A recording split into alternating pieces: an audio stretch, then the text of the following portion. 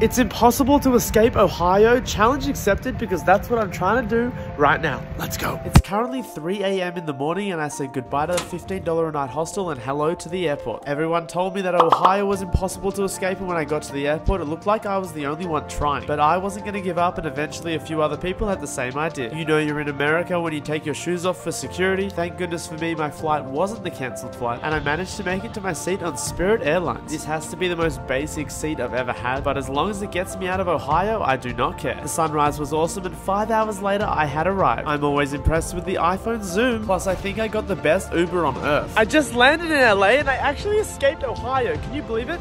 I'm on the beach. Plus the sunset is fire.